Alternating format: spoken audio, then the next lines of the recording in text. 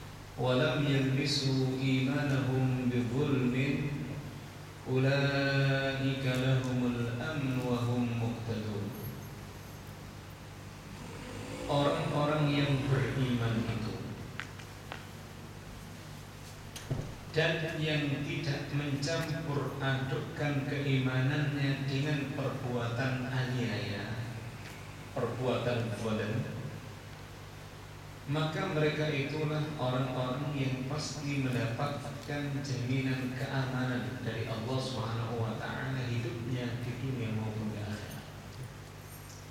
Wahum sedangkan mereka muhtadun orang yang mendapatkan petunjuk dari Allah Subhanahu Kata-kata iman ini berasal dari bahasa Arab ama yu'minu imanan yang memiliki dua makna. Makna yang pertama diambilkan dari kata-kata aman. Aman itu ya aman, sentosa, sejahtera, hidupnya aman, jaminannya aman.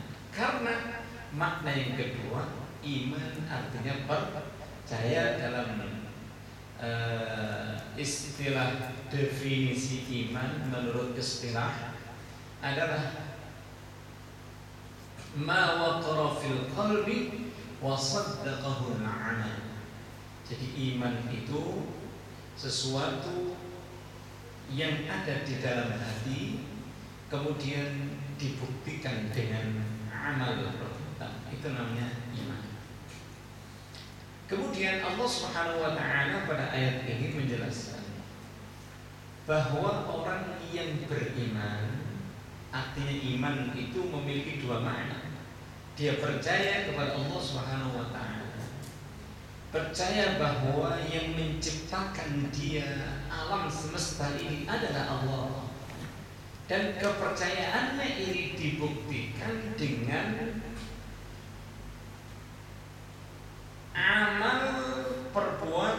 soleh yang baik yang dapat memberikan keamanan pula kepada orang lain. Ini yang disebut dengan walau yang bisu imanahum bidzulmin imannya tidak dicampur adukkan dengan perbuatan zalim.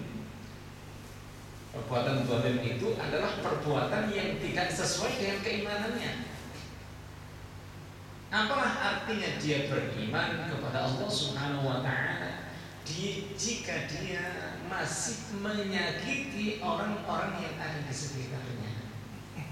Apalah artinya keimanan dia jika orang-orang yang ada di sekitarnya tidak mendapatkan rasa keamanan dengan keberadaan orang yang beriman ini kepada Allah Subhanahu wa taala. Oleh karena itu, Allah Subhanahu wa taala memberikan jaminan barang siapa yang beriman kepada Allah. Dan keimanannya dibuktikan dengan tidak berbuat aniaya dalam arti tadi. Keimanannya dibuktikan bisa memberikan rasa aman terhadap sesama.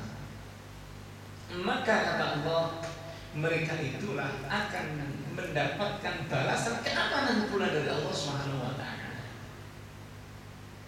ini artinya Allah Subhanahu wa taala menggantungkan jaminan keamanan dari Allah terhadap seseorang yang beriman jika keimanannya bisa dibuktikan dengan keamanan yang dirasakan oleh orang-orang yang ada di, di sekitarnya. Wahum muhtadun sedangkan mereka benar-benar mendapatkan petunjuk. Rahasia pada ayat ini Wahum muhtadun. Mereka adalah orang-orang yang mendapatkan petunjuk. Ini mengisyaratkan bahwa Orang yang beriman kepada Allah Yang bisa memberikan rasa keamanan bagi orang-orang yang di sekitarnya Jika mereka adalah orang-orang yang mendapatkan petunjuk Allah taala melalui Al-Qur'anul Karim yang dibacanya. Sebab hanya orang-orang yang membaca Al-Quran lah yang mendapatkan petunjuk Allah Subhanahu Wa Taala. Sebab petunjuk Allah Subhanahu Wa Taala tidak akan diperoleh kecuali hanya dengan bimbingan dan petunjuk Al-Quran Al-Karim. Petunjuk Allah Subhanahu Wa Taala tidak akan diberikan kepada seseorang yang dia rasa sebagai wangsit. Nyemeti terlebih dahulu kemudian ada bisikan-bisikan itu dianggap sebagai petunjuk. Atau petunjuk itu bukanlah dapat diterima seseorang melalui mimpi mimpi saya mendapatkan petunjuk dari mimpi. Suruh memukul kamu. Mendapatkan petunjuk. Saya disuruh membenci kamu. Bukan itu. Petunjuk Allah Subhanahu wa taala adalah Al-Qur'anul Karim sebagaimana firman Allah dalam surah Al-Fatihah yang memerintahkan dan mengajarkan kita yang harus selalu setiap saat, setiap waktu kita baca doa itu, yaitu ihdinas siratal mustaqim. Ya Allah, tunjukilah kami kepada jalan yang lurus, ya kan?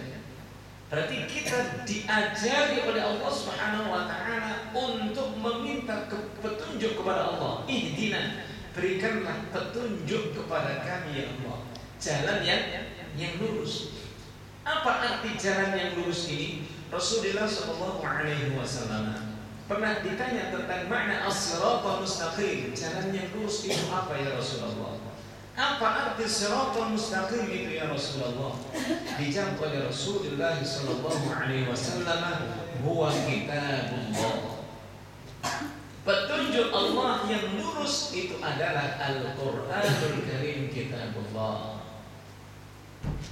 Mana bukti lain yang menunjukkan bahwa arti petunjuk Allah adalah Al-Qur'anul Karim. Setelah kita diperintahkan dan diajari oleh Allah untuk selalu membaca ihdinas siratal mustaqim maka Allah memberikan jawaban dari doa yang kita panjatkan selalu khususnya di waktu sholat sebab kita tidak sah. Sholat kalau tidak membaca. Ihdinas siratal mustaqim bagian dari surat Al-Fatihah. La salata liman lam yaqra bi Fatihatil kitab. Tidaklah sah sholat seseorang jika tidak membaca surat Al-Fatihah. Karena ada di dalamnya ada petunjuk Allah Subhanahu wa taala agar kita meminta petunjuk kepadanya. Dijawab oleh Allah Subhanahu wa taala di awal surah Al-Baqarah. Kalau kita meminta kepada Allah, ya Allah, tunjukilah kepada kami. Berikanlah petunjukmu menuju jalan yang lurus dijawab oleh Allah Alif Lam Mim Dzalikal kitabu la raiba fi hudan lil muttaqin Dzalikal kitab itulah kitab kata Allah La raiba fi yang tidak ada keraguan di dalamnya hudan sebagai petunjuk ya. kita akan meminta kepada Allah berikanlah petunjukmu ya Allah kepada kami Tunjukilah kami ya Allah kepada jalan yang lurus. Dijawab oleh Allah. Ketahuilah bahwa petunjuk Allah Subhanahu wa taala sudah ada. Tinggal kamu mau mengambil petunjuk Allah Subhanahu wa taala atau tidak terserah. Tapi yang jelas Al-Quranul Karim adalah kitab Allah yang tidak ada keraguan di dalamnya sebagai petunjuk untuk siapa? Lil muttaqin untuk orang-orang yang ber tak bertakwa untuk siapa orang-orang yang ber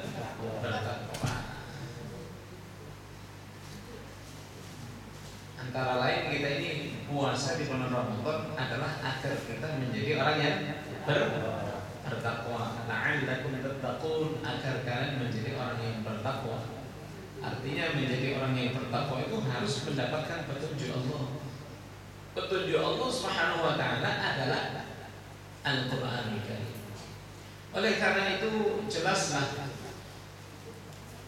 bahwa petunjuk Allah Subhanahu wa taala berupa Al-Qur'anul Karim itu hanya disediakan untuk orang-orang yang bertakwa kepada Allah.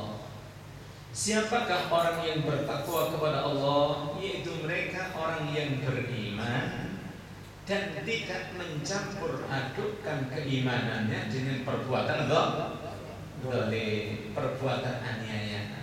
Siapakah orang mukmin yang tidak menyampurkan keimanannya dengan perbuatan aniaya, yaitu mereka yang bisa memberikan keamanan terhadap orang-orang yang ada di segi sekitarnya. Hal ini sebagaimana banyak sekali dalam hadis-hadis Rasulullah Shallallahu Alaihi Wasallam. Antara lain hadis yang diriwayatkan oleh Abu Hurairah radhiyallahu anhu dia berkata, "Qala Rasulullah sallallahu alaihi wasallam" antara lain Man kana yu'minu billahi wal yawmil akhir falyakul khairan aw liyasmut Barang siapa yang beriman kepada Allah dan hari akhir Maka hendaklah dia berkata kepada orang-orang yang ada di sekitarnya dengan perkataan yang baik atau kalau tidak mampu berkata baik hendaknya dia diam karena apa? Perkataan yang tidak baik itu dapat menyakitkan hati orang yang orang yang ada di sekitarnya. Apabila kita menyakiti hati orang lain dengan kata-kata kasar kita, kata-kata yang tidak baik, maka kita berarti bukan orang yang bisa memberikan rasa aman pada hati orang-orang yang ada di sekitar kita. Ini salah satu contoh yang paling kecil perkataan kita saja harus ditata. Jangan asal apa? Muni. Kalau bahasa Jawanya asal jeplak lah. Jangan model. Tapi dipikir terlebih dahulu kata-kata yang keluar yang akan saya sampaikan kepada saudara saya ini bisa mendatangkan rasa nyaman, keamanan bagi dirinya atau tidak itu dipikir terlebih dahulu bagi orang yang beriman kepada Allah Subhanahu wa taala. Karena itu dalam sebuah hadis lain Rasulullah Shallallahu alaihi wasallam telah bersabda Al-mu'minu yaqulu ba'da aqlih. Orang mukmin itu adalah orang yang berkata setelah akalnya. Artinya berpikir terlebih dahulu. Sebelum kata-kata itu terucap dari mulutnya. Wal munafik sedangkan orang munafik itu yaqulu atau yatakallam ba'da aqli atau qabla aqli. Sedangkan orang munafik itu adalah orang yang selalu mengatakan sesuatu sebelum akalnya. Artinya nggak pakai pikir-pikiran ya, langsung pingin marah dia ungkapkan kata-kata murka dan marahnya kepada orang itu. Dia nggak peduli, ya kan? Apakah kata-katanya bisa menyakitkan hati orang-orang yang ada di sekitarnya atau tidak nggak peduli. Berbeda dengan orang mukmin. Begitu pula hadis Rasulullah Shallallahu Alaihi Wasallam dalam sebuah hadis yang diriwayatkan oleh Anas bin Malik radhiyallahu anhu. La yu'minu ahadukum hatta yuhibba li akhihi ma yuhibbu li nafsihi Tidaklah beriman seseorang di antara kalian sampai dia menyintai saudaranya seperti dia mencintai dirinya sendiri. Bukankah kita senang jika kebutuhan kita tercukupi. Kalau kita senang kebutuhan kita tercukupi, hidup kita mendapatkan jaminan keamanan. Begitu pula halnya dengan keinginan dan harapan orang-orang yang ada di sekitar kita. Kata Rasulullah Shallallahu Alaihi Wasallam, belum iman kamu kata Rasulullah. Jika kecintaan kamu terhadap orang lain tidak kamu samakan seperti kamu mencintai diri kamu sendiri. Kalau kamu senang setiap hari bisa makan tiga kali, maka begitu pula halnya orang lain harus kamu lihat keadaan dan nasibnya pada hari itu juga.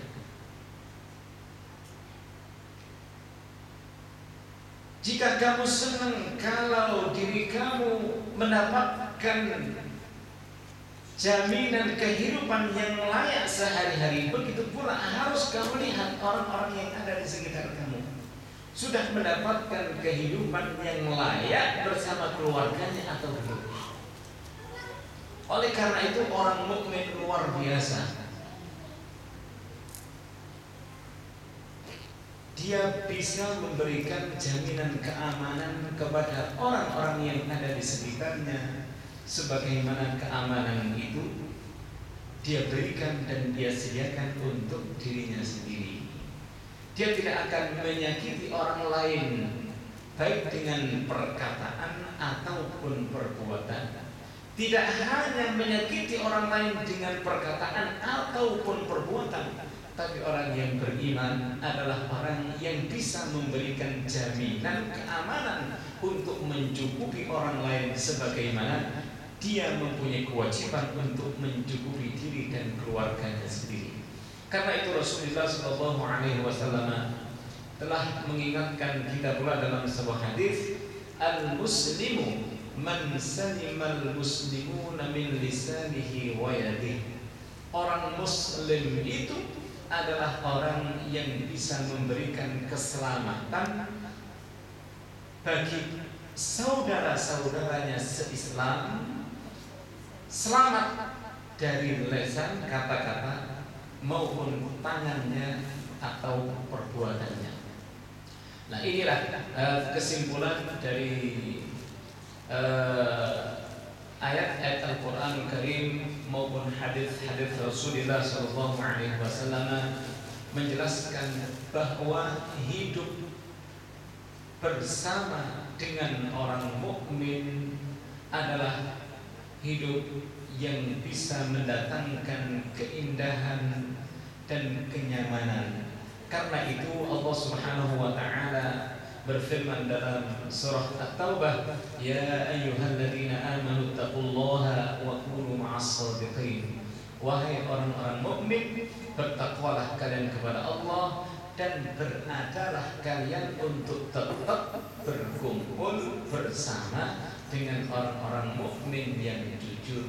Karena apa? Kalau kalian hidup bersama mereka, Allah Subhanahu wa taala akan mensejahterakan hidup kalian bersama mereka tapi sebaliknya jika kalian berkumpul atau berteman atau hidup bersama dengan orang yang tidak beriman maka